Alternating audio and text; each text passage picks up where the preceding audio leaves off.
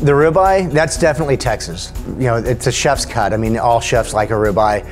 With the bone, you, you get better flavor profiles, it's juicier. My philosophy of food is, is really giving the customer more than, than what they've paid for and exceeding the expectations. I do this because I love it. You know, instead of the, the uptight or, or pretentious cuisine, for me it's more just about building good solid flavors and making sure that the guest gets the most out of their meal. My favorite thing about the ribeye is definitely the wow factor. I mean, you, you see that thing coming out, it looks like you've invited Fred Flintstone and Barney Rubble to dinner. You know, it's, it's just, it's a big piece of meat.